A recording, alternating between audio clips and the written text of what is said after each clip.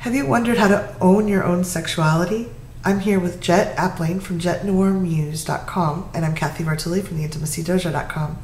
And Jet, you're so amazing on stage, and I know you've danced all over. You oh, you, you were just in Europe. You're um, you just seem so natural and authentic when you move, and you just own who you are, and it's really delightful to watch. I was wondering if you have anything to share, tips and pointers, because like you said earlier in the the first video we did on this, everyone can own their own stuff. Um, you can either you have a choice. You can be a victim or you can be out there and own it, which I think is so powerful and true. And different people are coming from different places in their lives. The journey might be longer for some people than others. And for people that are really shy, there's people that have been abused or just never had anyone encourage them. It could be it can feel like impossible like they don't even know where to start. What would do you have any things you would suggest for them? Well i don't necessarily uh, have a starting point a jump off point. I do i would say that when it comes to dance specifically what i've learned um, over the years and my brother and i had this conversation a long time ago about how when you watch men men in this country have been socialized to uh, not quote unquote uh, look or act gay. Yeah. This is how men have been socialized. Yeah. And so because of that, when you see a lot of men, you know, uh, they're they're usually, and I'm saying usually because I don't want you know Washington to feel like, oh, but I'm not. Uh, usually, sort of uh, reserved when it comes to expressing emotion, uh, and then that also manifests on the dance floor. Yeah. So no Very matter how much how they feel about a song, there's still like like you mentioned this sort of stiffness where it's like, oh, well, I still want to you know be uh, as manly as possible while I enjoy this song and right? And so because of that, they can't just forget about how they may be perceived by someone that is watching and just dance and be free with it. Yeah. And so uh, what I've learned over the years is that if I watch someone that does have that freedom on stage where they don't care about how they may be perceived. It's like, oh, well, I can't do that move because that move looks gay. Uh, and so for those that don't care about that and they just get up there and move, those are the people that I want to watch dance. Yeah. So over the years, I've tried to become that in the sense that I want to move my body in a way that feels right for the song. Right. In a way that feels right for the you know the next reveal that I'm going to do in burlesque or something like that but not. I don't want to limit myself and and constantly think about oh well, if I move this way they may think X of me. Right. So you are looking inward and rather so, than outward. Say again. You're looking inward rather than outward. You're looking at what you want to do rather than how they might perceive you. Right. Yeah. And, and this this person who I am no longer friends with because of what she said. Uh, she said to me, uh, "Are you ever worried that?" Someone will see you perform and think you're gay and then they'll go home and jack off to you. This is what she said to me. And I was blown away. I was just like, that's the dumbest shit I've ever heard for starters. And it just, there were other problems with that, yeah. that relationship, but still, her saying that, it made me realize I'm like, number one, score. Somebody went home and jacked off of my performance, I'm fucking winning. Someone, if someone enjoyed it so much they got sexual pleasure, that's wonderful. Yeah, right?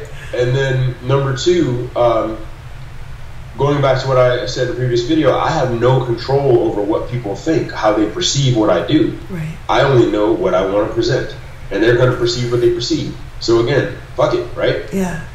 Oh, that's great. Yeah, I, I need to remind remind myself. I think I'm always trying to protect other people from what I'm afraid they might feel if I am a certain way in the world. And I know for a lot of shyer people, that's part of my dialogue all the time.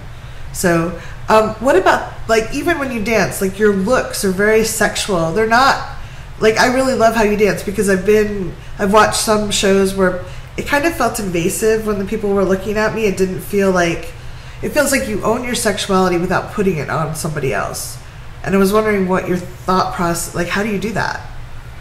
Well, um, I saw this. I saw this show. I'm not going to name it. Um, the dancers were very talented but what they were doing was extremely stereotypical for male strippers. They were basically pulling women out of the audience and flipping them upside down and putting faces in crotches and, and, and humping and all this stuff. And my number one thought was, where's the consent in Yeah. this? And then aside from the consent, it was just then I started thinking about liability. I was like, what happens when you drop somebody on their head? What the fuck are you Or if doing? they have a You bad know? back and you just flip them over upside down and Right. Yeah. And, I, and so I was just sitting there like, yeah, I never ever want to be that on stage. I never want to, you know, um, just start humping on people like a rabid dog. And and so when it comes to the looks that I give, um, where those looks come from um, a personal rule of mine on stage, and that rule is never try to be sexy. Oh. It's kind of like the improv rule. The improv rule is never try to be funny because you won't be funny, right? if you try, yeah. Right. And it's the same thing with being sexy. Every time in the past when I've tried to be sexy, when I got off stage, without fail, there was some friend of mine in the audience that had known me for years, and they were like, "Oh man, that was hilarious." Oh. And The total opposite of what you were trying to do. yeah, I'm like that's that was uh, okay. Again, that's their perception. I can't fight them on Yeah. it, right? But still, I um, that was when I learned. I was like, never try to be sexy. Just get up there and do you know tell the story that you tried to create when you choreographed this.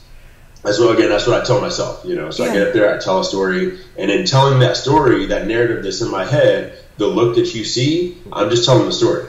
Oh, I'm wow. not trying to be sexy. If I were trying to be sexy, then I start helping people in the audience. Wow.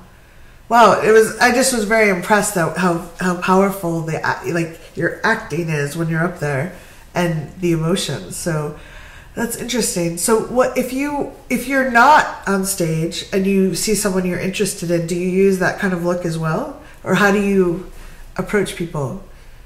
Oh, I don't. I don't approach people. I um, and and that's because that's for a lot of reasons. But um, you know, we I often joke with friends of mine about pickup lines. Yeah. But I don't have a pickup line because I've never used a pickup line, and I nor do I expect a pickup line to ever work. Yeah, Uh, I'm sure they work for other people and good for them, but as far as seeing an attractive person and then just jumping off from there, no thanks. Yeah. And it's usually because um, I've been dating for a really long time. I went on my first date when I was 11. Oh, wow. Okay, so so in all of those years of dating, I have um, I found that the people that either come up to me or that I'm introduced to through mutual friends at a party or something like that there's going to be a much better foundation of just easy conversation as opposed to, um, oh, that woman's attractive. Let me go and say hi. yeah. Every time I've done that, and and when I say every time, we're talking about I count on one hand. Um, I say three out of five times uh, she didn't speak English. Oh no. And I, and I was like, see, that's exactly why I told you at home just to not, not do this. And sure enough, you know, So you don't? Do you ever use? Say you're hanging out with some friends that you're um, that you some mutual friends, and you're interested in being sexual with them. Do you ever use looks or body language to signal that, or is it always a discussion?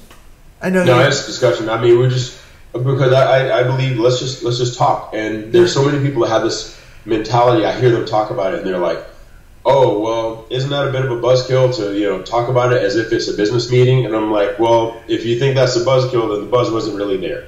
yeah, you know? that's a good. So, so I, I think um, there there have been, and then also I'll never forget. This is something I feel like it's appropriate to mention this at this time. I've always believed in asking a woman before I kiss her for the first time, and um, I remember a woman I dated like this is probably 20 years ago, and she kind of reprimanded me and she said, "Don't ask," and she kind of rolled her eyes as if me asking was this ridiculous thing. Yeah, And I was like, yeah, but I don't really, when it comes to that sort of thing, like me connecting with your body physically, uh, vibes aren't going to cut it for me. I need to know. yeah, yeah. I'll sometimes think there's something there, but if I ask, they're like, no, or I'll think it isn't there, and people are like, I've been hitting. it. I've had dates where I didn't realize they were dates until a couple of years later. I Right. people have to use their words with me because I don't always get it. Right. No, I love that. Um, can we come back and talk a little bit more about consent?